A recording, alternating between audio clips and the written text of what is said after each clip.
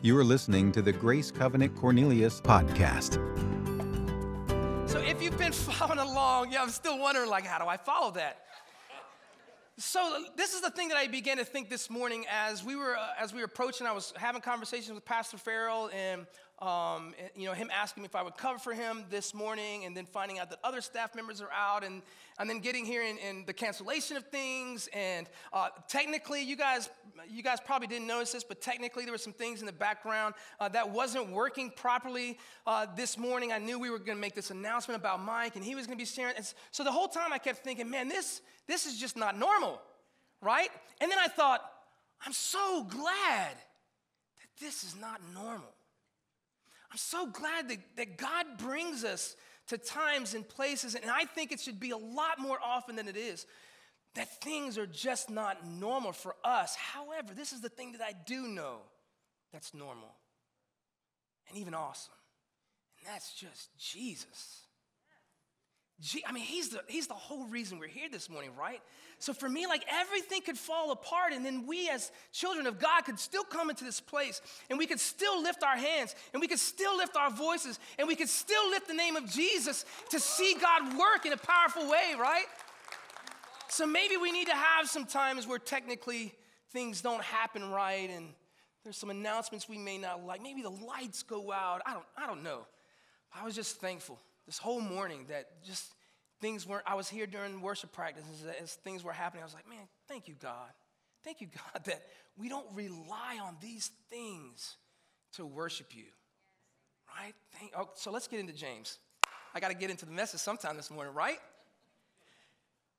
Get into James. And so I just want to let you know this too, because I, you know, people give me a hard time around here. One, I started to think when, when Mike was announcing his res- resignation, I'm like, I've only been here two years and everybody's quitting.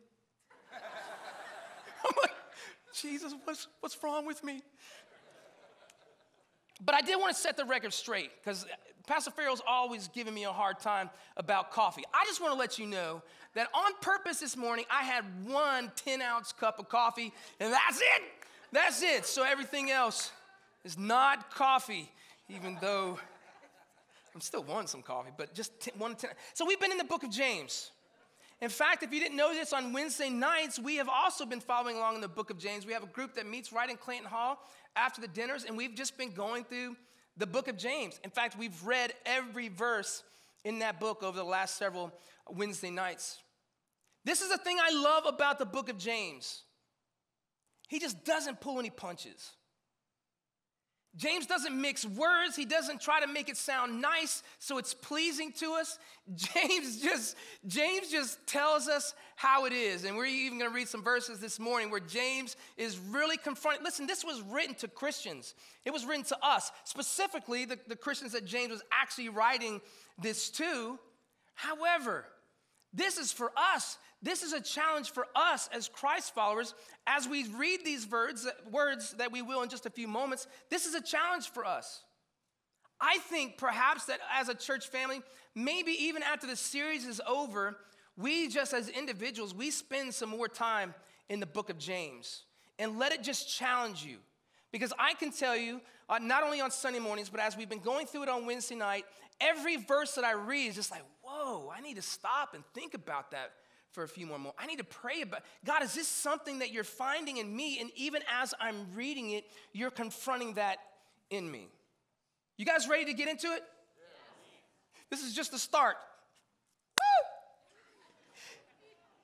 Here we go. We're going through this series on putting your faith to work, which, by the way, I have to do better with.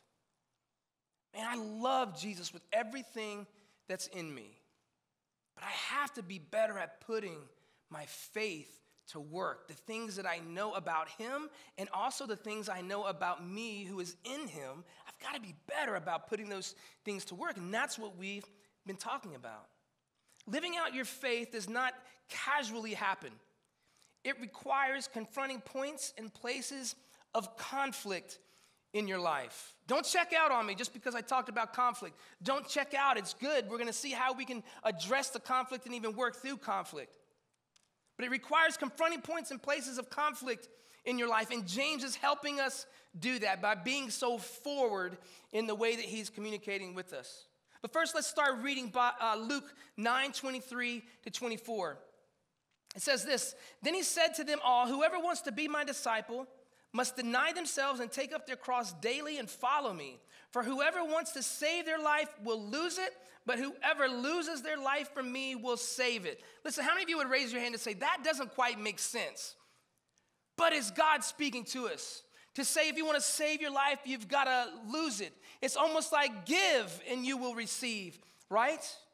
Listen, you cannot pursue God and at the same time choose to go your own way and do your own thing.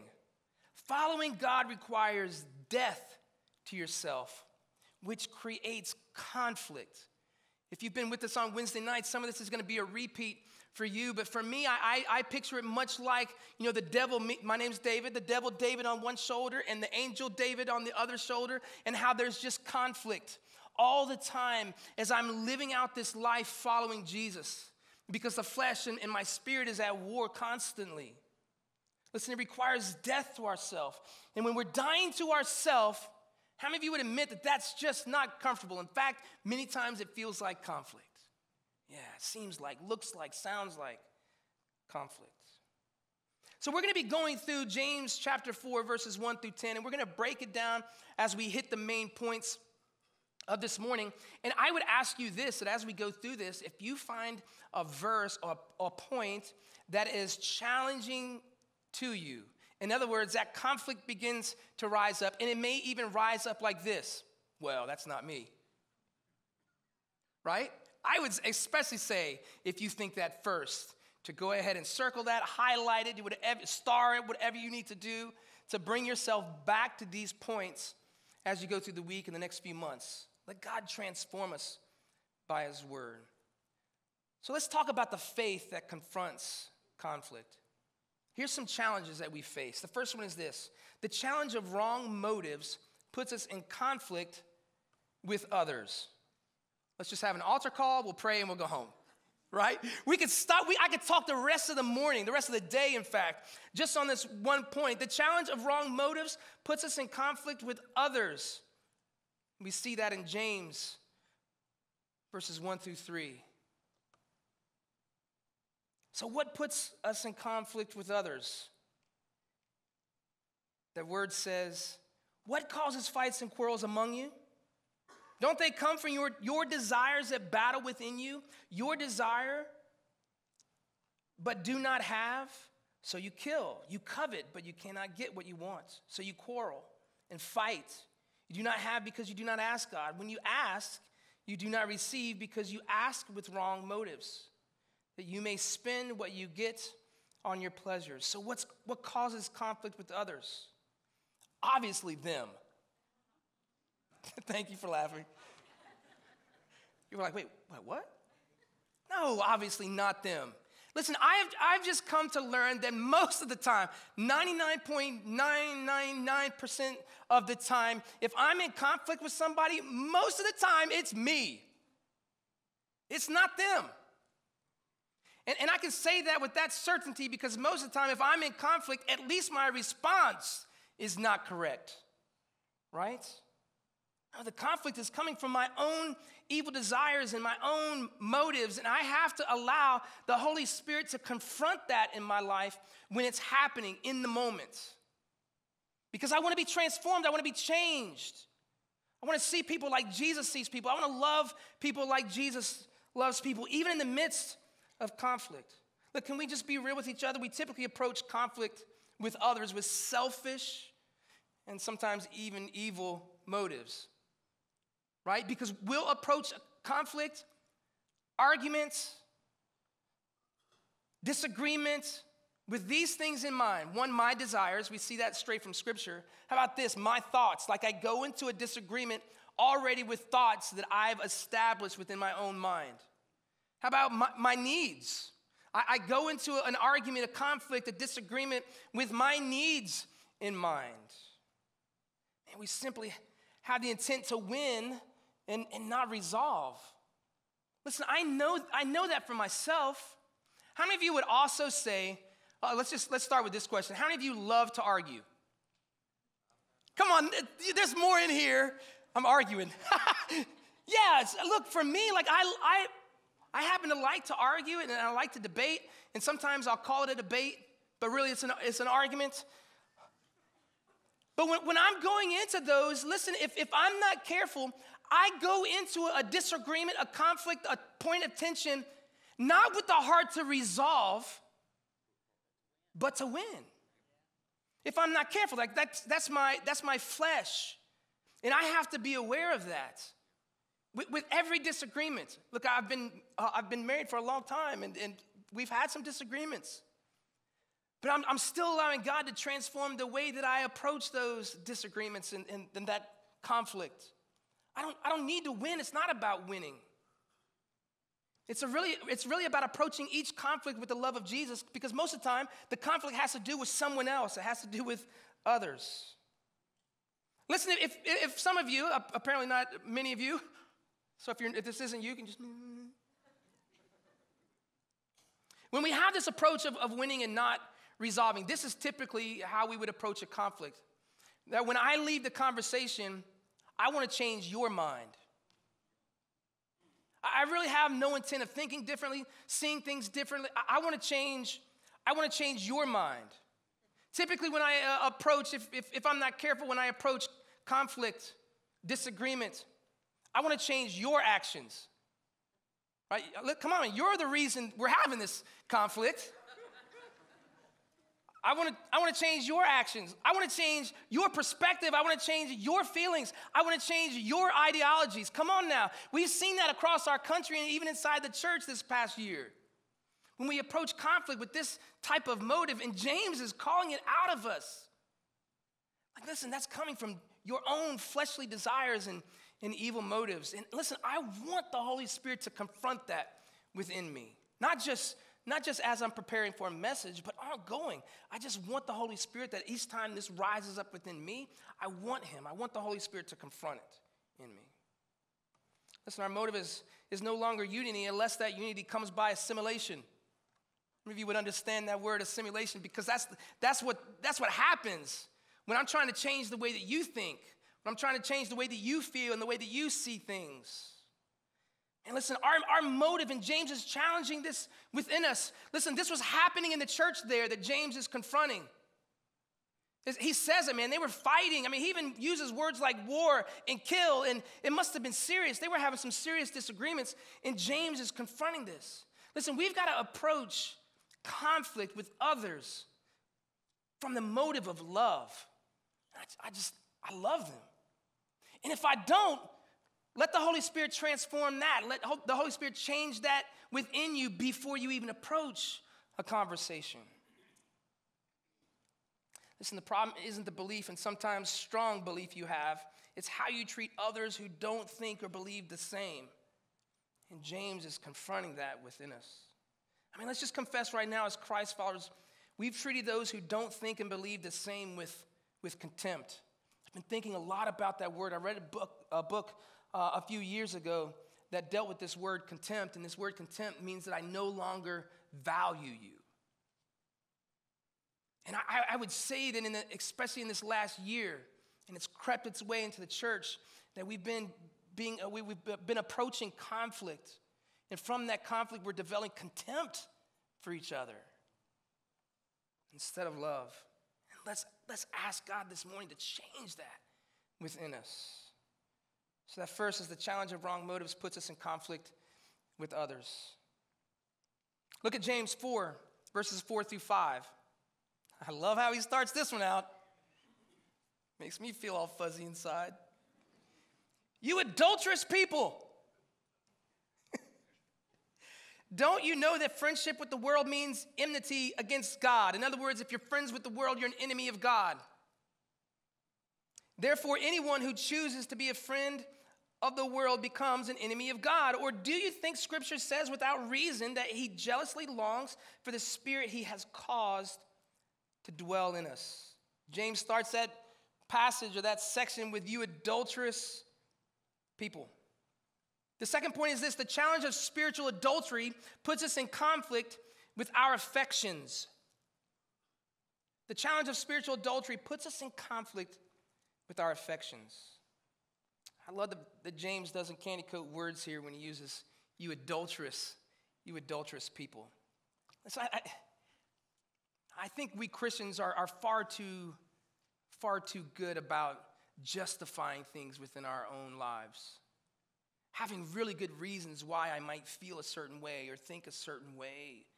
Or but as we as we live a life that we're experiencing that over and over, I mean James is challenging us this morning. Where, where are your affections? Listen, we cannot divide our affections between God and the world. James is being really clear with that. One of the ways I know this happens, even in the church, and is that the church just looks a whole lot like the world now. And when, and when I say the church, I don't mean this building, I don't mean our gatherings, I mean us, I mean me. We just look a whole lot like the world now. And what I see in scripture is that our lives should be so different, it would resemble the contrast between light and darkness. And so I asked that of us this morning is that our lives? Are we living out a life that is that strong of a contrast? That we are light in a very dark world. Because I would say for, for even myself, like the things that would resemble darkness, I need to allow God to transform and change that. I need to allow God to change the way that I think, change the way that I process, change the way that I act, because I don't want to look like the world. I want to look like Jesus. And we as a church, we look, we look far too much like the world. And listen, it's not about avoiding the bad things. It's not that at all. It's about living the way that Jesus lived, doing the things that Jesus did. If, if I focus on that, like everything that's not of Him just begins to diminish in my life. But the reason we don't live this way is because our affections, our affections are divided. If you look back to James 1 8, he tells us when our loyalty is divided between God and the world, we're unstable. Listen to this in everything, in everything that we do.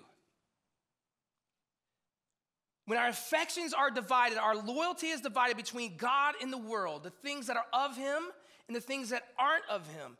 When we're living that type of life, then it says I'm unstable, not just in a few things, not just in my relationship with Him, not just in my relationship with my wife, but the Bible's telling me I'm unstable in everything that I do. And I think that God in, in these moments, even this morning, as, as strange as things might have happened over the course of the last uh, several minutes, that God is wanting to transform our affections this morning. He, he's wanting to change that within us. That I no longer show affections for the things that aren't of Him. That the only thing that I have affections for is Jesus. Jesus. So that as my flesh begins to rise up, I'm confronted with that contrast. I want my affections to be for Jesus. I'm gonna sit at the, uh, I'm, gonna sit the keyboard for just a few moments. And I, w- I want us to just worship with just a few words because I want, I want God to give us some time. Could we just close our eyes?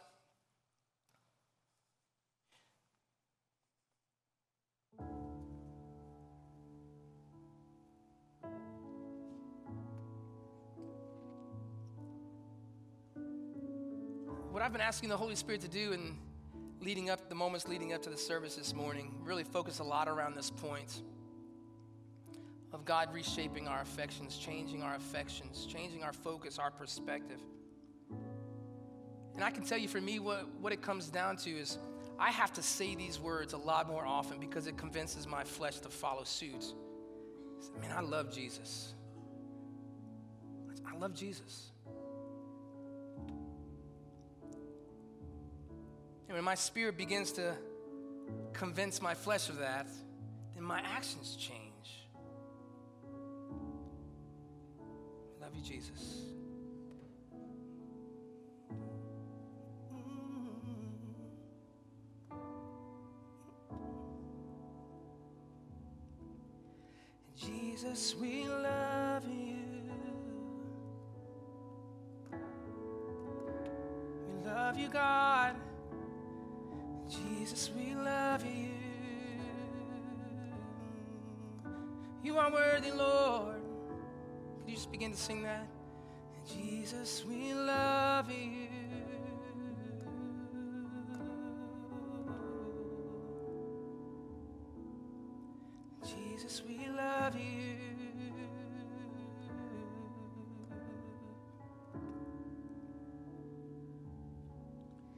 Jesus, we love you. We love you, Lord, and only you. We love you, Lord. We love you, God. Listen, there doesn't need to be words on the screen. Could you just begin to sing that? And if you're bold enough, just to begin to sing it out loud. We love you, Lord. We love you, God. We love you, Lord.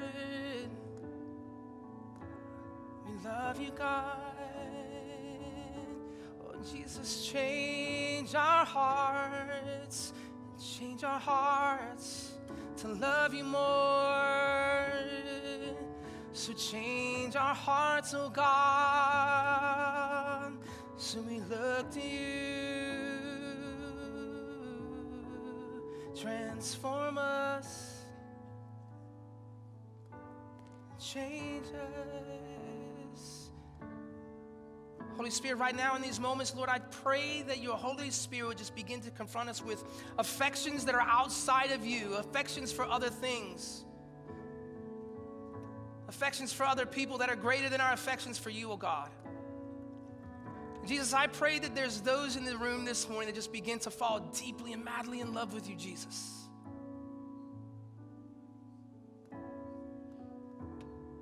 Love you, Lord. There is none like you. There is none like you, Lord Jesus.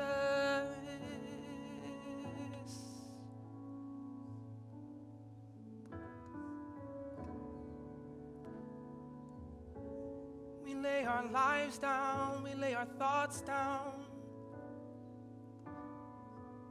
At your feet, oh God. For you alone, you alone, you alone are worthy of my affections and love. You alone are worthy of my worship, oh God. You just begin to say this there's none like you, Jesus. There's none like you, Jesus. Listen, I, I believe that even as you're saying that, and even if you feel bold enough to whisper it or say it audibly, listen, I begin to, I believe that things begin to break in our lives chains, bondage, that our focus comes to Him or back to Him. That nothing else around us would distract us from our love of Jesus. We love you, Lord.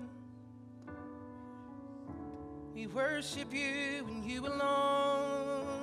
For you alone, you alone are worthy of our worship and praise.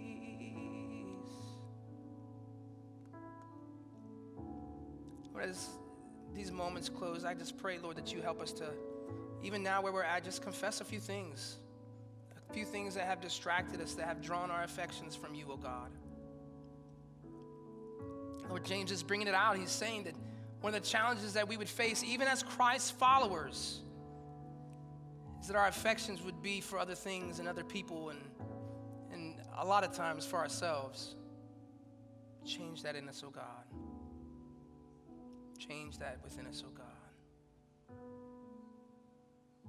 praise you, Lord. Listen, we might come back to that if I have time. I don't have time at the end.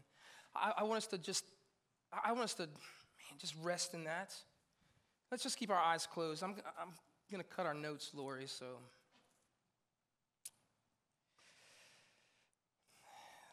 The last point is this, and, and as we were worshiping through, even with that, I think it solves this. But the last challenge that we see in the book here is, in the book of James here is, is this challenge that, of pride, and that puts us in conflict with God. So I don't have to go through what pride is and what pride looks like in your life? I think we know. I think we know. But I want the Holy Spirit as we leave this place this morning to really challenge us of where we're placing, where we're placing our affections. I can tell you for me that, man, that's changed everything in my life. That's changed everything. When I, as a, as a dude, can just say, man, I am falling crazy and madly in love with Jesus. For me, that changes everything. That changes everything.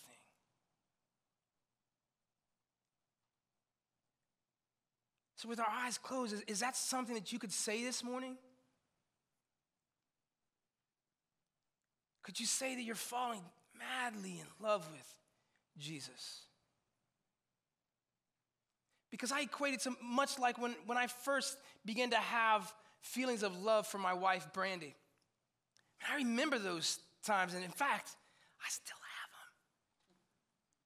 them. I love seeing her, I love spending time with her.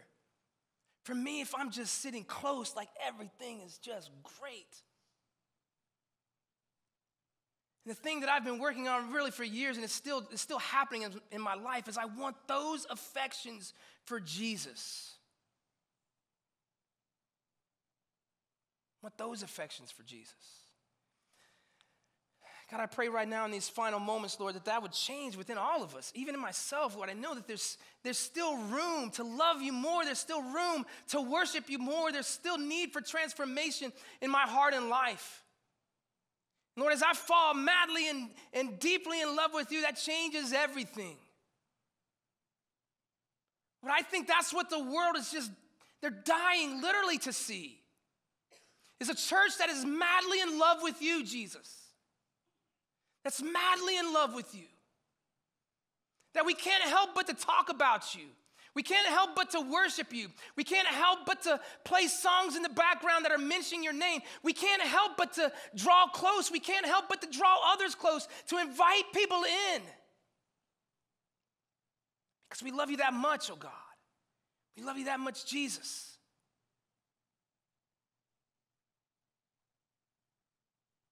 Lord, I pray that this week something changes, radically changes in our lives we, be, we begin, or maybe there's something that happens that's a, that's a catalyst. Maybe these moments are it that, man, we are just falling in love with you, Jesus. Change us. Change us, oh God. We praise you. We praise you for everything that you are, not for everything that you do. You are an awesome, good God. And we praise you just for being God. We worship you because you're God. Help us to love you more, Jesus. In your name I pray, amen. Listen, I, I, I really wish we could spend another 30 minutes. But this is the thing that I do know is you have some time this week for, for God to continue to, to work in your life. Listen, listen, guys, I really want to challenge you. I really want to challenge you. Women probably don't have as much difficulty with this, but guys, I really want to challenge you to begin to fall madly and deeply in love with Jesus and to begin to use those words. Man, I'm just, I'm in love with Jesus. I'm in love with who he is. I'm in love with his presence. I'm in love with his voice. I'm, I'm just in love with Jesus. I really challenge you with that. Let God continue to work in your hearts and, and lives this morning. Just as a reminder, uh, the Wednesday night family dinner uh, is canceled, um, but the other program that's happening on Wednesday night is the same. Uh, prayer team, if you would, come on forward. If you need some uh, prayer and you just need to, to have someone pray with you, our prayer team is going to be up front to do that as you leave. Uh, love you guys. Have a great week. I wish we could spend another few hours together. I guess you could come back for the second service too. But I know I'm hungry. See you guys. For more information on Grace Covenant Church, our service times, ministry opportunities, directions, and more, visit us at gracecovenant.org.